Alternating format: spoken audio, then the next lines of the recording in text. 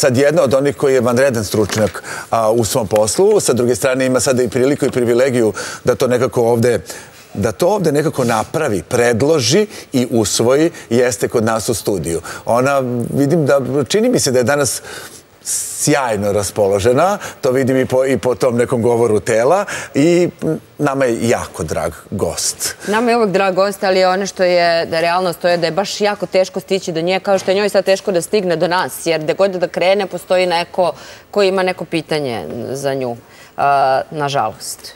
Ali čini se da ta frekvencija interesovanja ne opada, da ne trošimo vreme uzaludno. Dana Grujičić, naš gost.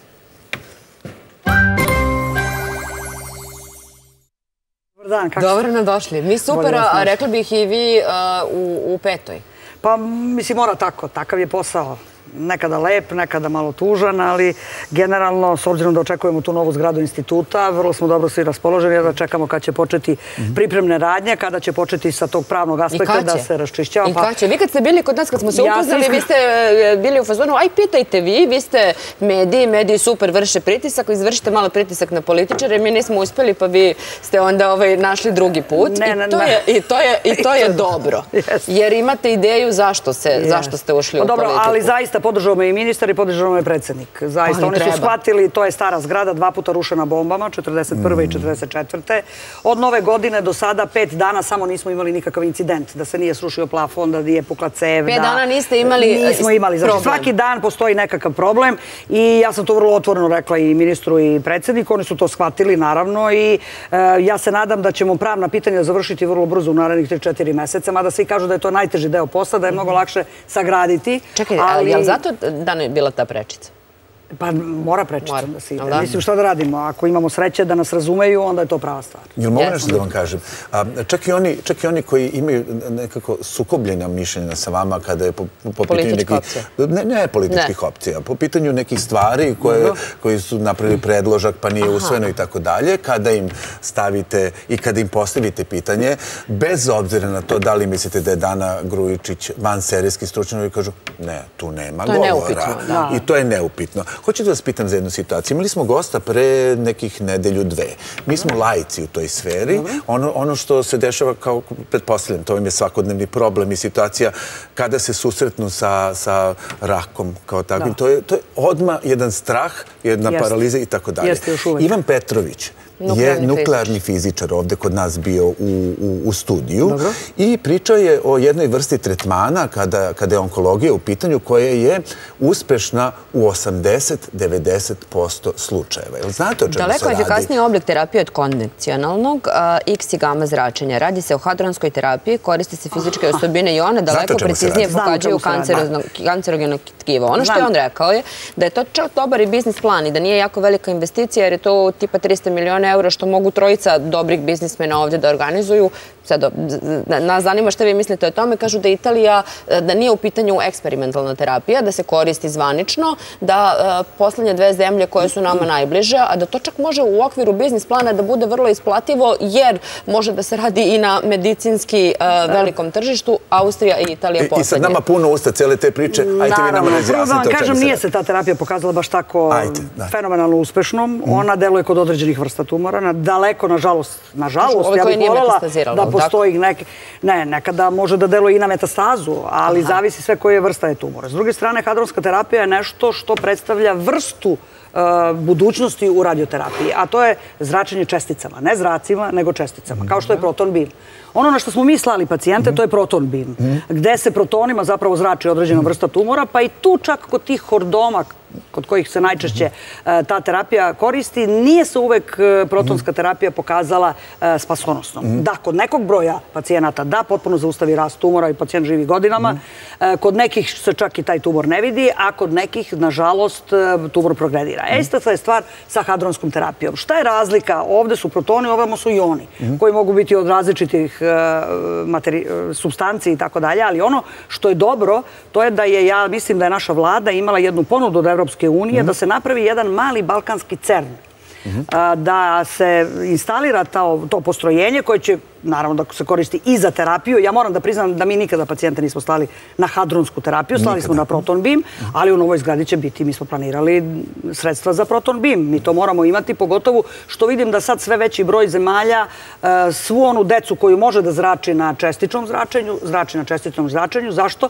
Zato što vi česticama možete da isporučite dozu zračenja samo na tumor. To nam je rekao da zapravo nema oštećenja okolnog zdravog tkiva i to je fantastična stvar. Hadronska terapija je sljedeća. Da li će se jednog dana pojaviti nekakvi neutroni, da li će se pojaviti elektroni uh, u nekakvom drugom smislu nego što se danas koriste, to ostaje da se vidi, ali definitivno budućnost u razvoju radioterapije mhm. jeste zapravo čestično zračenje. Iako postoji taj predložak, hoćete vi biti... Naravno, pogotovo što se uh, ta hadronsko postrojenje, ono se nikada ne koristi samo za terapiju, ono se koristi i za mhm. uh, eksperimente, za naučnike, za nauku, za razvoj jedne e, jako važne nauke. Molim vas, mi smo dozvolili u 21. veku da nemamo nuklearnu fiziku na PMF-u.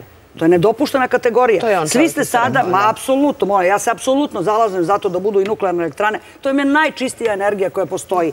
Pa kažu, desio se Černovi, pa desio se Černovi pre 50 godina, desio se drugi svetski rad pre 70 godina. Ne moramo ponavljati greške. Drugo, mnogo su savremenije i načini na koji vi možete zaštititi ta prostrojenja. Prema tome, nuklearna fizika je nešto što mora postati svakodnevica našeg života. A ne kažete da nema. To je najluđa informacija. Dakle, gospodin Petrović je rekao sad, je rekao, čak i da prihvatimo to da hoćemo, treba će jedan vremenski period. Naravno da se nauče ljudi da rade na takvim postrojenjima. Ali ako krenemo sada, za deset godina imamo. Da, on je rekao 15, ali manje više to je to. Možemo i mi da uvezemo stručnjake. Zašto? I Srbija je u stanju da plati nekog stručnjaka koji je negde radio, koji će raditi ovde. S druge strane imamo svoje ljude. Imate ljude po Americi koji su bili dekani e, fakulteta, koji mogu da dođu ovde da se napravi jednostavno nuklearni program Srbije, koji će oni da vode.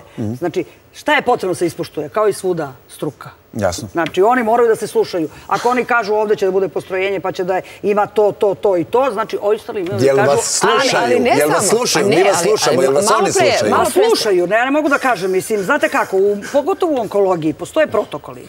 E, ne vaše kolege, jer vas oni tamo slušaju. Ma rekli ste malo pre pravno, dođete do birokratskog dela, uđete u kafu. Pa, znate kako, ali ako imate vi podršku e, politike, onda kad dođe do pravnog dela, reko mene poslu taj taj.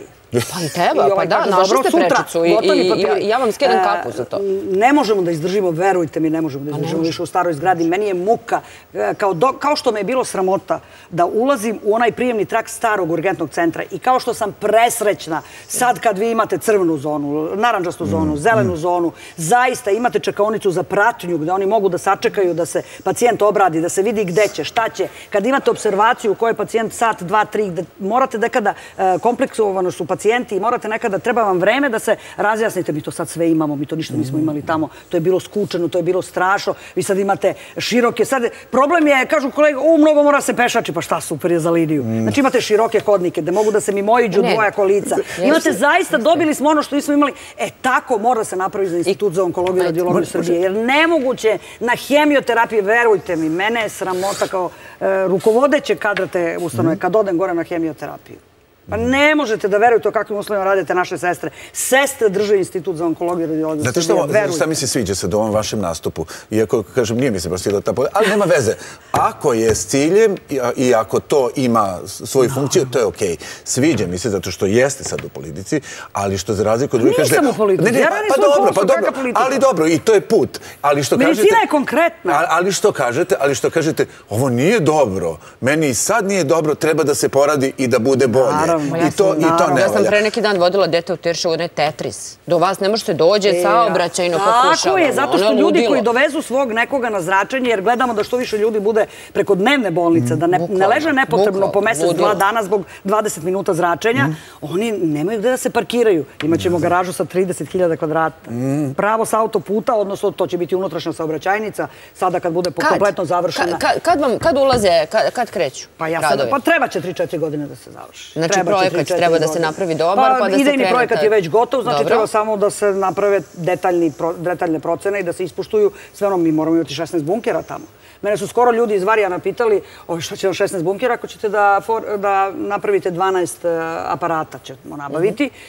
Ja sam rekla, pa za 3-4 godine napravit će se novi aparati, mi želimo najnovije. Mi moramo uzimati uvek najnovije jer nismo previše bogati. Mhm. Mi moramo imati aparate za koje ćemo imati delove narednih 20-30 godina.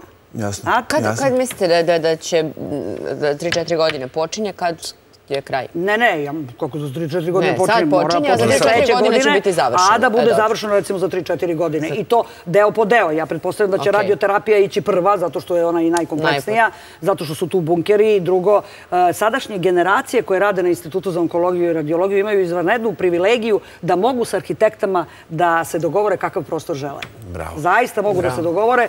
I ja, kažem, dnevna bolnica naša mora imati 100 kreveta. Nama danas na 10-15 kreveta. Koji su vam kapaciteti, a koliko vam treba dnevno? Koliko ljudi pa u Srbiji oboleva? Pa na deset stolica sto ljudi primi terapiju. Pa ne možete da verujete.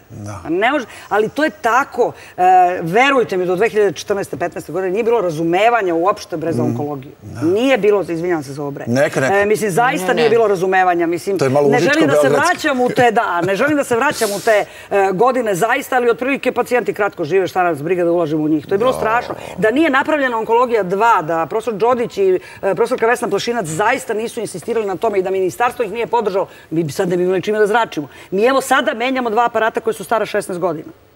Znači, ne vredi, mislim, e, znate, dobili smo sjajne nove mašine. I sad je prosto, e, e, moralno je pitanje koga ćete vi da stavite na tu staru mašinu. Dobit će on tu dozu koju treba, dobit će on tačno da treba, ali je ljudima žao da stavljaju na stare mašine. E, sad smo i njih rasformirali, dobijemo još dve nove mašine. Imaćemo osam relativno novih mašina za zračenje, što nije bilo nikada od formiranja Instituta za onkologiju i radiologiju. Imam samo jedno, i to mi je jako bitno. Utrkujemo se ko će šta, ovaj entuzijazam je nešto što... Pa nije entuzijazam, to je neophodnost. Svatajte, ja gledam te ljude svaki dan. Ali da vas pitam samo nešto. Koliko vam da dnevno stiže poruka? Od pa nepoznatih ljudi? Dvadesetak. Dnevno? Ne. I sve je vezano. Pa otprilike jedno četvrtina su za decu. I da vas pitam, kad čovjek dođe u tu situaciju, on želi najbolje za svoje dete. Želi najbolje za sebe, želi najbolje za svoju okolinu. Često, se mi rukovodimo time. Znate, ima nešto u Italiji, ima nešto u Austriji, ima nešto u Francuskoj. Ono što hoću od vas da znam, ali kada pričamo o tome, kažu, Dana Grujičić je ekspert.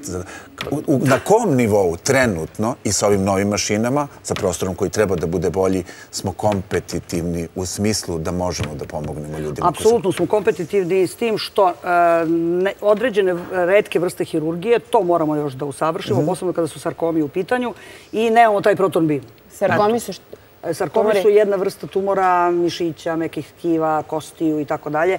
Ne možemo reći, oni se operišu, oni se leče. Oni, e, ono što je dobro u onkologiji, to je da je onkologija otvorena u celom svetu. I vi imate protokole koji su dokazani na stotinama hiljada pacijenata. E, šta je problem? Problem su redki tumori. Redki tumori i oni tumori za koje jednostavno nemate adekvatan protokol. Ono što je dobro, to je da su moje kolege, posebno sa pediatrijskog odeljenja, u stalnom kontaktu i sa francuzima, i sa nemcima, i sa Amerikancima i što se konsultuju. I zašto bi neko putovao u Ameriku ako mi možemo da damo taj lek? Nema razloga. Jel možemo? To pitamo. Možemo, apsolutno. Znači, kada meni pedijatar napiše, mislim, sjajne žene rade, zaista tamo, ceo e, odeljenje vodi profesorka Dragana Janić i prosto je preporodila to odeljenje. Većina dece sada boravi zaista u roditeljskim kućama. E, tu nam puno pomažu ova udruženja roditelja i Nurdor i zajedno sa decom i Zvončica. E, znači, zaista se trudimo da ta deca što manje osete bolničku atmosferu. Međutim, ona je zaista fantastična. Ja, evo, kako ona preuzela to odeljenje, meni nikad jedan roditelj nije došao. Ali, ona, kad njih tri, četiri koliko rade, i Vesna Ilić, i Lejla Paripović, i e, Marija, one napišu da će taj lek najvjerojatnije pomoći tom detetu, 90%. Kako ja da ne potpišem? Nije na listi, pa šta radim ako nije na listi? Jasno. Pa mene često pitaju ovi izračunostva, pa prosto kad to mi plaćamo, pa nek plaćamo. Pa nećemo imati pare, pa ići ću u zatvor, šta da radim? Kako ja da e, četiri pa ozbiljna medikalna onkologa, kako da ja kažem sad ja neću da potpišem, a znam da dete može da primi tu. S druge strane, ima privatnih klinika koje odgovorno rade zaista onkologiju, nema ih mnogo, ali ih ima, gde rade moje kolege koji su zaista ozbiljni onkolozi, ali ne mogu pacijenti, pa onkomed recimo sa Vladom Kovčinom tamo koji je e, moj školski drug, pa naravno. Tako da, e, recimo nekako u njih imam najviše poverenja i dosta mojih lekara tamo radi kao konsultanti, a Ali zašto bi neko uopšte ištao privatno ako može da se da lek u državnoj ustanovi? I s druge strane, E, sadašnja direktorka fonda, Sanja Škodrić, je zaista pokazala veliko razumevanje za onkologiju. Ona je čena žena patolog i zaista je pokazala veliko razumevanje. Mi stalno proširavamo tu listu. Ne može sve odjednom, imamo ograničena sredstva, ali se to bar trudimo. Sad smo e, se obratili također da bi mogli te lekove da dajemo koji nisu na listi fonda. Obratili smo se sa pomoć privrednicima i ja sam vrlo prijatno iznenađena da su nam e, odobrili sredstva. Znači, ja mi pa- prosto danas, zato sam dobro raspoložena, jer ne moram da prekinem da potpisujem nastavim da potpisujem za te ljude. Šta znači, obratili ste se privrednicima i naišli ste na odobrenje? Šta to tačno znači? To znači 20 miliona. To nije mala svota novca, to je zaista. A u prilog oni kojima to može da poboljša zdravlje. Ne da može, pa to su ljudi koji primaju taj lek i mogu godinama da žive. I to su ljudi koji žive kvalitetno. E, prema tome, e, mi moramo naći načina, upravo ono za što se zalažu sve moje kolege koje rade onkologiju, a to je da pacijent ne dobija po lokalizaciji terapiju, nego po strukturi svoga tumora. Ako ima određenu gensku strukturu i mi znamo, bez obzira gde, recimo u debelom crevu je, ali on ima strukturu gena koji je e, registrovan za pluća, zašto da ga ne dobije? Zašto nema ako ima 70% PDL, recimo, ja sad pričam na pamet, ali zašto da ne dobije lek? E, I to je, onda ćemo biti apsolutno u svetskom. E sad moram da vas pitam drugu stvar. E, jedna četvrtina poruka, ostala sam i dalje na tome, su deca. S druge strane, mi ovdje često kad razgovaramo na temu eh, bolesti i kancera, ljudi se pozivaju na vaše ime. S jedne strane imali smo čoveka, on je advokat iz Vranja, eh, živi radi u Nišu, on je u saradnji sa nekim italijanima, jedan deo je medicinski centar, drugi je italijanski advokat, krenuo da eh, da ide dosta razbura zbog NATO bombardovanja siromašenog uranima. S druge strane, imali smo ovdje upravo eh, gospodina Ivana koji je nuklearni fizičar, koji nam je rekao Petrovića, koji je rekao da prosto rak nije u ekspanziji zbog nekih drugih stvari, već zato što je životni vek produžen. Svako ima svoje mišljenje. Šta vi mislite? Jeste životni vek produžen. Ja se ne bih bavila nuklearnom energijom i onda ove druge bih molila da se ne bave kancerogenezom. Šta je problem? Problem su nanočestice. Zašto imamo mnogo više? E, znači, ja kada sam počinjala u neurohirurgiji, ajde sad da ne govorimo o plućima, o digestivnom traktu, odnosno crevima, o bubrezima i tako. Ajde da govorimo o mozgu. Mi imamo u Srbiji 36% više e, tumora mozga nego na 100.000 pacijenata, 100.000 e, stanovnika, nego što to imaju ostale zemlje. E, ne možete reći sad zagađenje mozaka. Mm. Znači promjena u genskoj strukturi i nanočestice. Znači, nije problem, oni svi u siromašenju uraniju vezuju za zračenje. Nema tu zračenja, to je prslo i to se rasprosto ko zna kuda.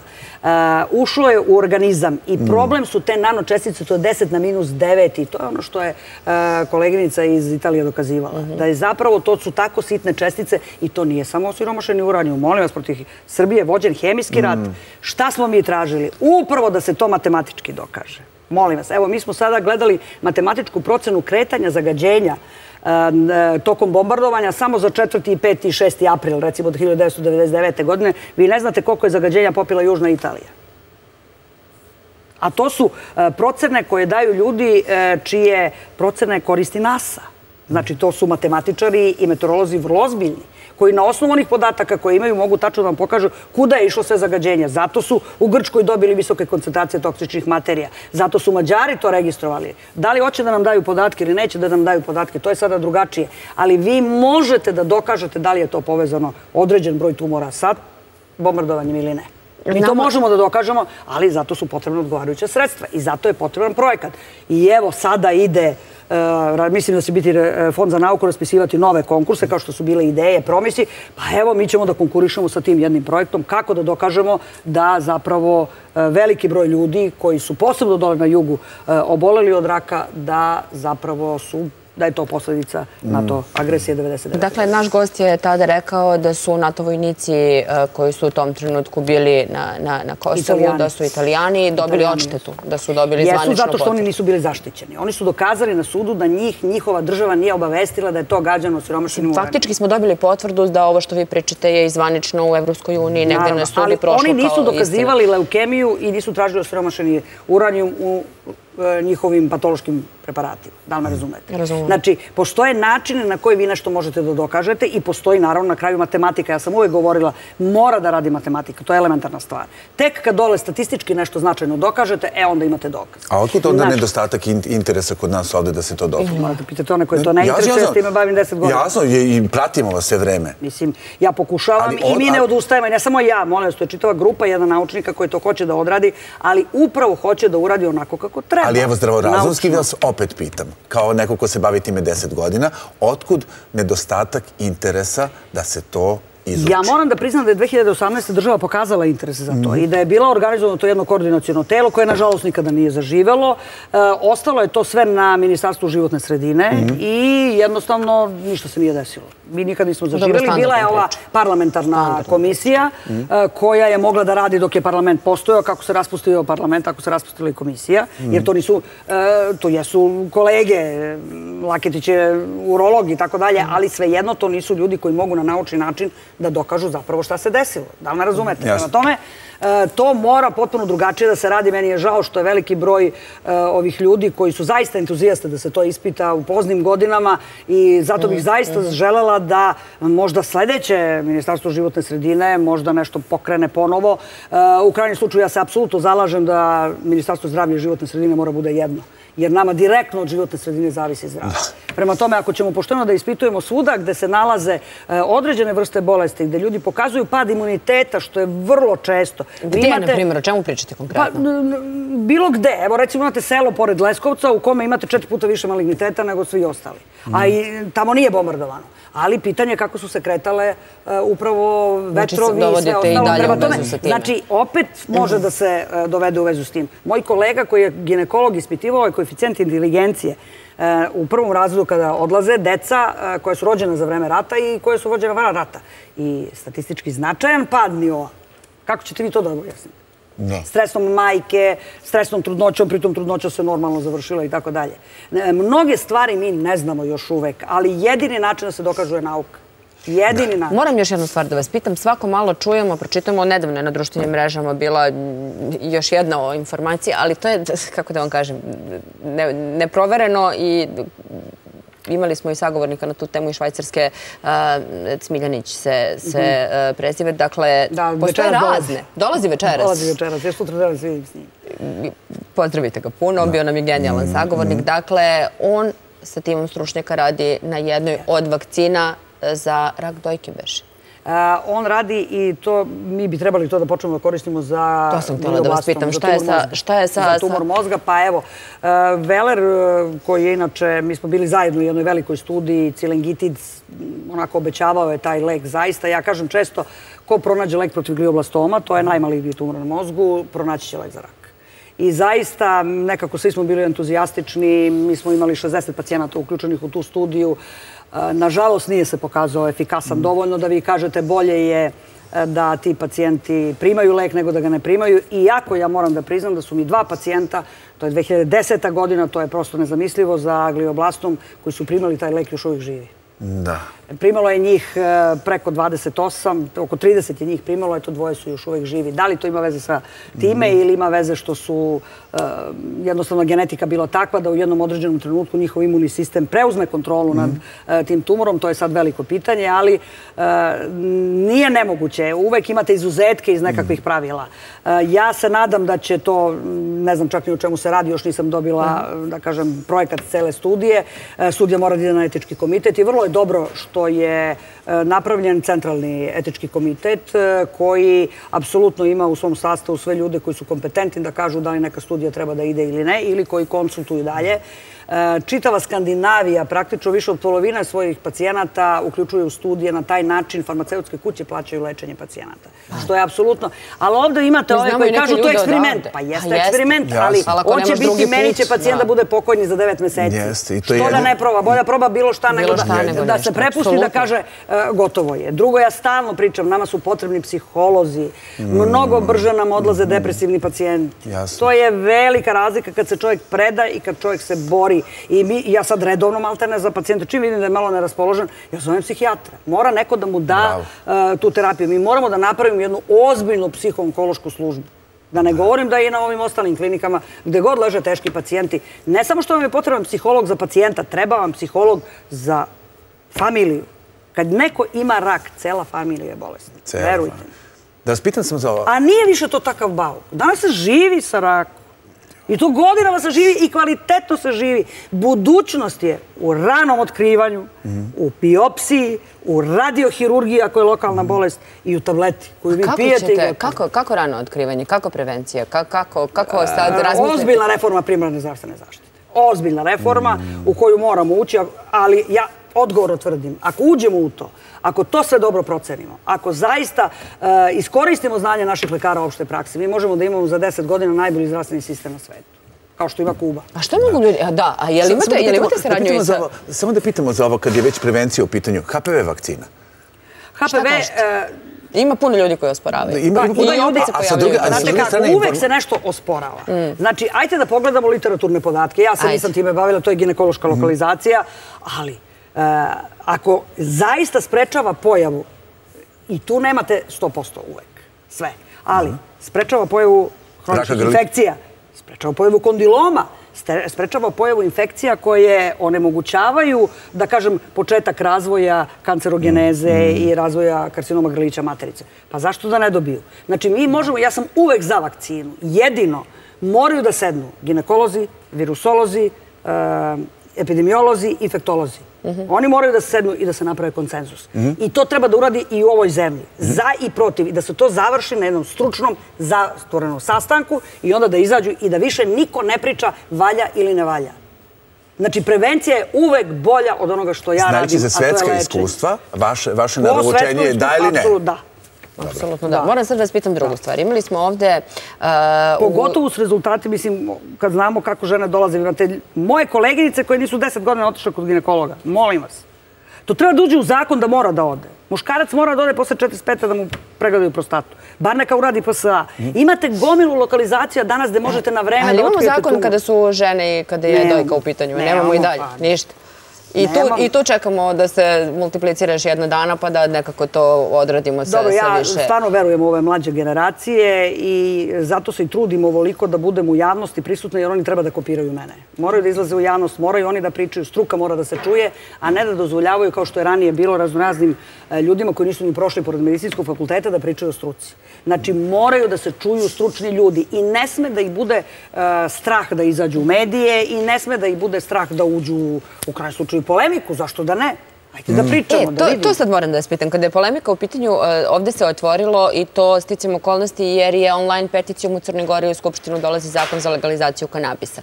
Uključivali smo e, ljude iz Crne Gore. I gospodina Kovčina. Da, i gospodin Kovčin je također bio jedan od sagovornika. Međutim, ljudi koji se ovde bave time da se legalizuje kanabis su rekli, pitajte Danu Grujičić. Da, zato što sam ja predsednik Komisije za psihoaktivne kontrolisane substance. I šta vi kažete? Ne, to je izmišljotina narkomafije. Molim vas, pa nemojte budete naivni. Danas, kad postoje toliki lekovi, vi možete za par sati da obezbolite pacijenta koga god hoćete. Za par sati. Ne treba da bude pacijent drogiran, da ne bi imao bolove. Da ne govorim da e, tu ne postoji šta oni hoće. Vi imate na bazi CBD-a antiepileptične lekove koji se daju deci koja imaju epileptični status koji mhm. ničim drugim ne može da se zaustavi. Ali, to je proizvedeno u farmaceutskoj kući. To ima koncentraciju. Zna se koliko mililitara te tečnosti možete da date na kilogram težine deteta. To je lek. Ja nemam ništa... E, ne, a oni hoće lepo da oni proizvode ulje, neko koje nije standardizovano. Sad hemičani kažu, pa može da se standardizuje. Pa standardizujte. Mhm. Registrujte ga u agenciji za lekove i medicinska sredstva. Ja nemam ništa protiv. Ali da vi prodajete po apotekama i da to sad bude nekako uzgajanje medicinske marihuane, što je izmišljen izraz, ne može. E, dok sam ja predsjednik nema. Dakle, dakle... I to, paste, ja nisam samo u toj komisiji. A šta kažete za ministarstva zdravlja, sva ministarstva vlade imaju predsjednik u toj komisiji i svi mislimo isto. Ali znate i sami da postoje e, u Nemačkoj, u Sloveniji, da U Nemačkoj ni jedan lekar nije propisao medicinsku marihuanu jer da je propisao izgubio licencu. Dobro. E tako. A e, šta se dešava sa onkološkim i pacijentima koji imaju multiplu sklerozu, koji imaju Parkinsonovu bolest, koji uzimaju, sigurno znate da postoje kanali da se to dobavlja? Ne znam šta se dešava, moji pacijenti ne uzimaju. Ko smije da on kaže? Pa, ne, ne, ne. Šalim se, šalim se. Ja ih pitam. Znate kako, e, postoji jedan određeni e, način na koji se pacijenti ponašaju pre anestezije, posle anestezije i tako dalje. Ja odmah znam ko je koristio i odmah me, apsolutno, posle operacije, kad vidim da se pacijent ne ponaša onako kako bi trebalo, a sve je u redu na skeneru, ja ga pitam otvoreno, iskoristio nešto? Jes. Znači, vi znate ljude koji koriste, da li su oni definitivno zavisnici koji zahtevaju lečenje ili su to ljudi koji su povremeno uzimali, ali apsolutno se ponašaju drugačije nego normalno posle anestezije. Prvo tome možete odmah da saznate. I e, drugo, e, zašto sam toliko protiv e, tog izraza marihuana? Postaće dostupna mladim ljudima. Ono što je sigurno dokazano za marihuanu, to je da uništava mlad mozak. Molim vas, nama ne treba moronska nacija. Nama trebaju deca koje će da razmišljaju svojom glavom, koje će sutra da se izbore da ovo bude najbolja zemlja na svetu. Nama trebaju deca koja misle svojom glavom, koje neće klimati na sve ono što se pojavljaju na televiziji. Nama trebaju takva deca. Amerikancima možda ne trebaju, makedoncima koji su legalizovali možda im ne treba, možda njima treba neko ko će da klima. Ne, naša deca moraju da odrastu potpuno nezavisno od droge i marihuanom počinju svi zavisnici. Niko nije počeo kokainom. Nemojte molim, znači nema potrebe, moji doktori za dva sata sa standardnom terapijom koju možete da uzete u e, bolnici i da dobijete leše riše svakoga bola. Zato što znaju, Ko ne zna neko dođe kod mene na onkologiju? Evo, odmah će mu pokazati. I ono što me raduje, to su koleginice koje sada specializiraju palijativnu medicinu i specializiraju opštu medicinu. Veliki je interes zato što shvataju da će imati puno tih pacijenata. Pacijenti sve duže žive i naravno da im je ta suportivna terapija sve potrebnija. Nije rak više onakav bauk, ali bi bilo mnogo lepše da zaista na vreme diagnostikuju. Ono što nas radi je ta intervencija rak je bolest sa kojom se živi. Tako je. Sa druge strane, ono što je moje zadovoljstvo uvijek u razgovoru sa vama, što znate, svoje doktore po imence, ko gde radi, ko se čime bavi. I to je također ide prilog tome. Pa sjajni su, ja sa njima godinama radim, znate. E, Koliko imate tim dana? Sad mi je neko rekao, na onkologiji ogromno, na onkologiji oko 200 doktora, a ovamo je na sestara ima nekdo oko 500. Jel vam fali ljudi? Znate da svi kažu da fali? Pa sestara nam fali. Fali vam sestara? Nam fali. Verujte mi, ja ne znam kako one žene na hemioterapiju izdržavaju. Ja im se divim. Da. A šta je I pritom je to... Jel odlaze ljudi, jel da? Pa neće da dođe niko. Neki dan smo raspisali konkurs za 25 sestara, javilo nam se pet. I ja stalno vičem, kad bude nova zgrada, javit će nam se 550. Mislite? Da neće otići? Neće. Da. Ne, pa mi moramo da im stvorimo uslove. Znate? I super je što se e, i ovaj... E, E, morate i i unutrašnosti morate voditi računa o bolnicama. Ne možemo samo reći sad je institut e, šta treba uraditi. I mi imamo po unutrašnosti ljude koji znaju da daju hemioterapiju. Mm. Znači njima treba dozvoliti da daju više da bi naš institut bio e, opterećen manje. Međutim, nama trenutno čeka 150 žena sa dokazanim karcinomom dojke na operaciju. Iako ovi rade svaki dan po 10. Znači, 50 karcinoma dojke su operiše nedeljno na e, klinici za institut. Samo možete mi izvini, Boško, da karcinom dojke i e, štitne žlezde čini se da... Ja ne znam koliko žena znam. Ja, što se ti, ne samo u karcinomu štitne žlezde, i kod muškaraca. I kod muškaraca. Pravo da vam kažem, pa to otprilike štitnjača može da se dovede u red sa spoljašnjim zagađenjem. Zagađenje spoljašnje. Da, a dojka sa hormonalnim poremećajima. A šta kažete za sve ove žene koje uzimaju hormone? kontracepcije, starenje, ja, te terapije, postoje neki drugi veliki stručnici koji dolaze. E, kad god sam na tribinama sa mladima, ja kažem mhm. devojčicama i devojkama mladim da u seksu moraju da budu, e, da misle na sebe. Prema tome, mhm. najsigurnije je kondom. Prema tome, zašto bi neko unosio hormone e, u svoj organizam nepotrebno? Znači, treba da budu sebične, a vi, gospodom momci, budite vitezovi. Pa budite odgovorni. Izađite tako. E sad, skrenut ću samo malo ovaj temu, jer znam da imate, da i zbog toga vas gledalci slušaju. Samo malo da zagrebimo po ovoj koroni. Može. Dobro. Imate svoje mišljenje. Znate šta kažu ovi ljudi sad od kad je počeo rat i od kad je sad ovako odjednom je nema, pa sad ovo, pa sad ima, pa sad nema. Mi sad ovih dana kad malo zagrebemo po svakodnevnim životima kažu pa sad svako ima koronu pa sad cijene prijatelja, a onda neki drugi kažu, pa malo nam puste, pa nam malo zavrnu tu koronu. Koje je vaše mišljenje? Šta se desilo? Šta se dešava? I gde smo sada po pitanju korona? Prvo, prošle dve godine. Uglavnom, koliko zna medicina, istorijat medicine, sve velike pandemije taju otprilike dve godine. Znači, pa ona je... Pa da li dođe rat ili prestane rat ili se desi nešto drugo, ali generalno virus gubi na snazi. To je mhm. definitivno. I za mene definitivno sada korona postoje grip kao što imamo i ove druge vrste gripova i tako dalje. E, zašto ona sad, ja bih drugo pitanje postavila, zašto ona ponovo toliko buja u Kini?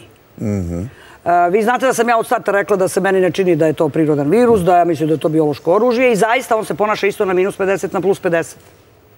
Prirodi virusi se tako ne ponašaju. E, prema tome, ja nisam zato da se u biološkim laboratorijima ne ispituju i najopasnije agencije. Upravo zato da bi se našao lek protiv njih. Mhm. I upravo zato da bi znali kako da se borimo protiv njih. Mhm. Ali sam, e, recimo, zato da e, to mora da bude strogo kontrolisano i da to zaista mora da bude pod patronatom države koja vodi računa o svom stanovništvu.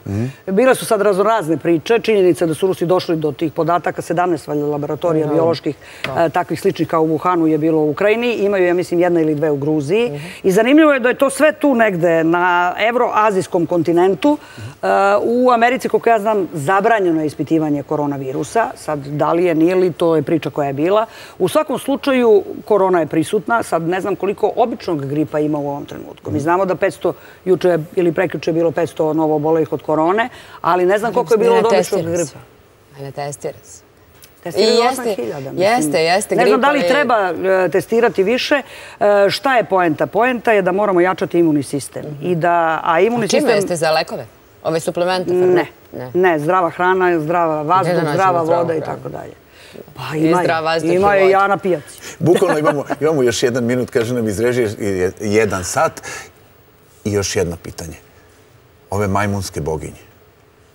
Pa valjda je trebalo da bude nešto slično ovome, pošto se ovde mhm. virus je oslabio, ali nije se pokazao tako lako prenosiv kao što se prenosi. Ovde morate da budete zaista u baš bliskom, direktnom, ali ne seksualnom kontaktu sa nekim. Znači, nema bojazni? Pa izgleda da nema bojazni. Nema bojazni, a i nisu to kao velike boginje. Mislim da nemaju tako veliku smrtnost kao što se možda je neko očekivo, ja sad to ne znam. Ali generalno, e, mi treba da imamo dobrog porodičnog lekara, mhm. mi treba decu da vaspitavamo, da imaju fizičku aktivnost od malena, Znači, moraju da imaju i spravice i da znaju da vežbaju, da jednostavno svako od nas dva puta nedeljno mora da se bavi nekako. S obzirom na to da ste našli prečicu, da biste ostvarili neke jako važne ciljeve, moram da vas pitam, ono gde se tas često ide s jedne na drugu stranu, pa pozicija, opozicija, pa eko, protesti, pa jeste, nije. Sad ste još, nekoliko puta ste rekli koliko je to važno. Gde je ono što je najvažnije što treba da radimo? Super je, to sam pročitala negde, da će da se, ta vrela vojda koja izlazi iz naše elektrane, da će se upotrebljava kao energija, da će krenuti neke stvari da se realizuju. Pa već se realizuju, samo mi, ja ne ne znam, o tome se ne piše valjda dovoljno. Ja znam da su u planu e, zaista prerada i otpadnih voda i e, prerada ovog e, standardnog komunalnog, kako mi kažemo, džubreta. Za početak možemo mi mnogo da uradimo. Ajte plastične flaše na jedno mesto. Ajte staklene flaše. Pa Generalno, ja bi zaista mnogo ljudi... Ali mislite da je plastika opasna? Jako opasna. Mislim da treba da se vratimo na staklene flaše. Verujte mi. Mislim da treba da se... Apsolutno. I eto, naša staklara, mislim da je bilo u Paraćinu. Mm. Dajte da obnovimo to i što više Jer vi danas kad ulazite u elitne restorane, tako je, kad danas kad ulazite u elitne restorane, samo je staklena ambalaža. Obratite pažnje. Bravo. Još jedna od dva. I za kraj samo jedna emotivna. Mi se utrkuli za kraj, ali najviše sam jednu lepu priču. Ja volim da dođem kod vas, pogotovo što imate dobru muziku. Najviše sam na jednu lepu, na jednu lepu priču, a tiče se osnovne škole u Užicu. A, jeste, jeste. Nada Matić, bili smo Gaga Antonijević, Irina i ja. Mislim, stvarno je ovaj, bilo i emotivno i lepo je setiti se tih dana. Imala sam jako bezbrižno detinstvo. Eto, moja želja da sva deca imaju onako detinstvo kako smo imali mi. Da, hvala vam puno. Ne znam kako da vam se zahvalim zahvalimo. Ništa. Vidimo se za koji mesec. Šta ništa? To je bilo. To je bilo. Ali da dovedem možda i nekog od mojih saradnika. Ajde. Da počnete da poznate te mlade ljude koji će mene vrlo brzo zameniti. Nemojte vrlo brzo, ali dobro je da vas ima više i to je ono što je fantastično. Je li imamo adekvatnu pesmu? Molim vas. A ima jedna emotivna. Sad tiče se emocije neke druge vrste. Ovaj, Nina Badrić imala neke cipele, postavila tamo ako nema kaže, ako još je, i tako. Kakvi ste po pitanju emocija? Pa emotivna sam. Ja mislim da sam emotivna. Da, umem i da se rasplačem, umem i da se nasmejem, a umem i da budem stroga. Znači, sve emocije su prisutne. Hvala vam puno, Dana. Hvala i vam. Hvala.